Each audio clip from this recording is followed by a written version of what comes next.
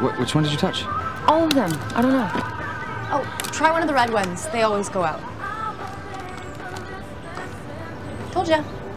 Deck the halls and follow la la la. What is wrong with her? Read her boobs. The girl loves Christmas.